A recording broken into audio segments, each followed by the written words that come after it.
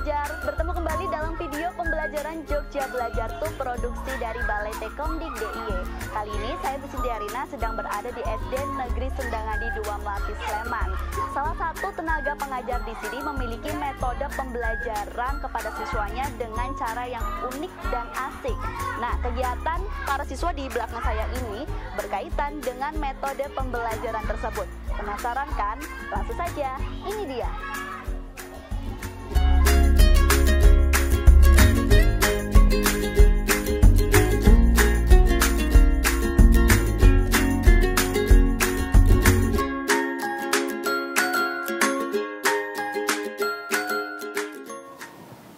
Belajar, kali ini saya sudah bersama dengan Ibu Agnes selaku guru kelas 3 SD Negeri Sendangadi 2 Melati Sleman. Dan Bu Agnes ini memiliki satu metode pembelajaran yang asik untuk para siswanya, yakni memadukan matematika dengan pencak silat. Biasanya anak-anak ini paling males kalau disuruh belajar matematika karena matematika ini dinilai sulit ya Bu Agnes ya ini kok bisa ya pencak silat dengan matematika? Ini idenya dari mana Bu untuk metode pembelajaran ini? Kali saya melihat itu anak-anak itu sangat malas, terutama kalau belajar itu hanya di dalam kelas, duduk, melihat, mendengarkan. Nah, kedua saya melihat kan di sini ada hari olahraga.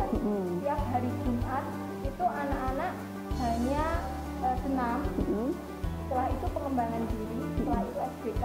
Nah pada hari Jumat itu mereka semangat semua karena di situ kegiatannya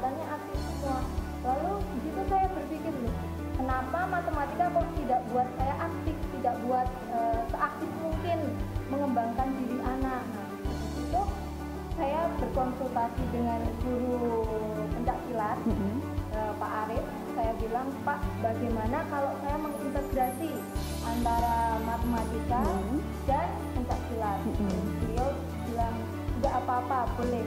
Nah lalu saya memikirkan cara uh, materi apa yang kiranya bisa saya gabungkan dengan matematika. Nah itu tadi lingkar samping itu sangat cocok dengan pembelajaran matematika. Itu bisa membantu anak memahami sudut. Selain itu saya juga kemarin menggunakan ini uh, metode ini untuk uh, pecahan. Oh. Kan itu ada uh, empat empat karton yang dibagi delapan.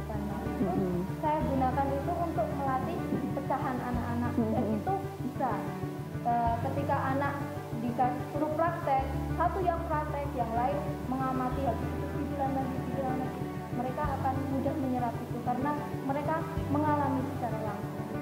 Nah untuk memadukan pencak silat dengan matematika ini sendiri seperti apa Bu? Tadi kan salah satu contohnya uh, belajar tentang sudut ya. Ini bagaimana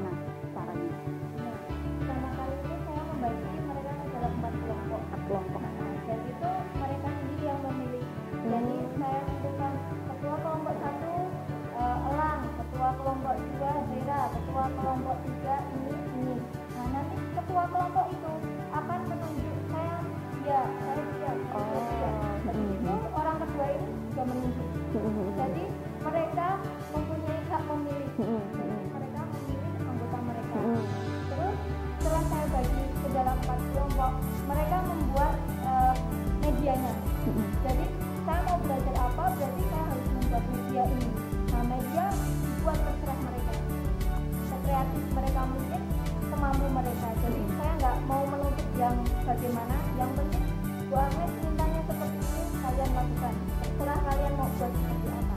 Nah mereka membuat sendiri. Setelah dibuat, lalu mempraktekannya. Dan pastinya pembelajaran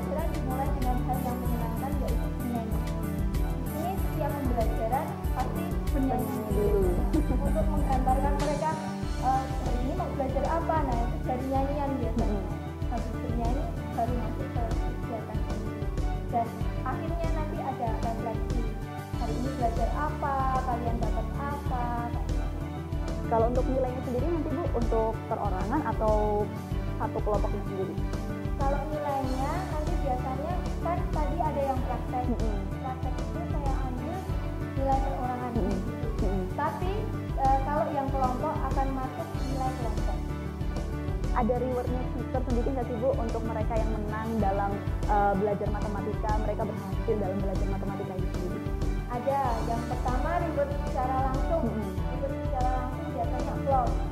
Eh, pintar, hebat, selalu ucapan di kelas ini. Yang kedua itu biasanya per minggu saya melakukannya. Oh. Jadi siapa yang uh, bisa, siapa yang kurang, nah itu saya buat komprengan. Oke. Berarti poin-poin nilainya ya. sendiri untuk mereka ya,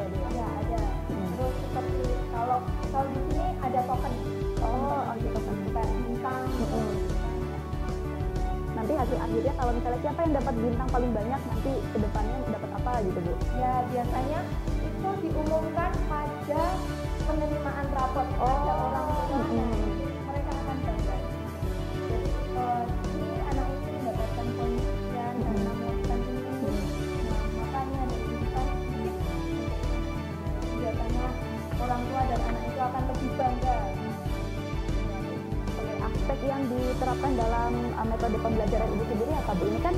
tadi saya lihat ada kerjasama nih antar tim dalam uh, belajar matematika ini sendiri. Aspek yang diterapkan sendiri apa?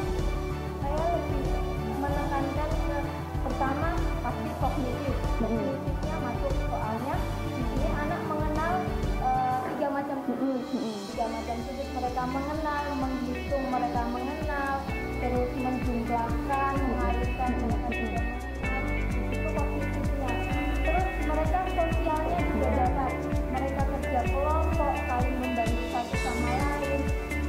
kompetisinya juga dapat karena biasanya anak-anak ini itu tuh uh, tidak mau kalah. Oh iya. Oh nanti aku harus lebih baik yang saya kembangkan uh, kompetisi. Berarti anak-anak semangat ya biar dapat nilai tinggi biar menang juga ya antar kelompoknya sendiri. Nah untuk anak-anak pertama kali dikasih materi pencaksilat dalam matematika ini gimana Bu?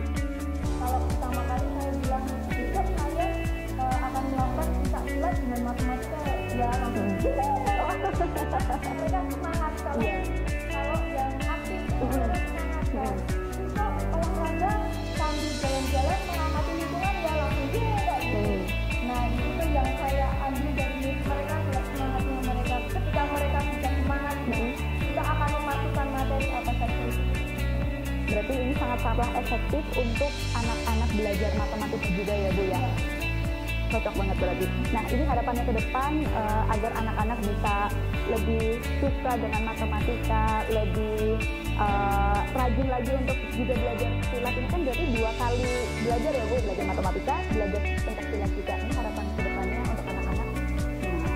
Kalau harapan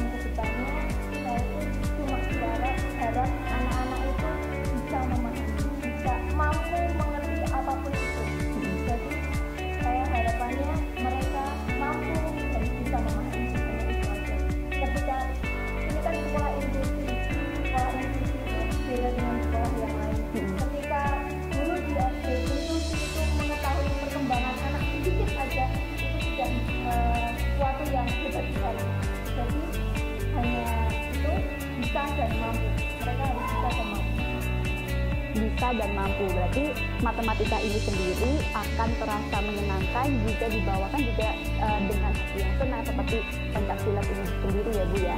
Mungkin sobat belajar bisa menerapkan uh, metode pembelajaran ini pencaksilat dan juga matematika untuk menambah semangat belajar terutama belajar matematika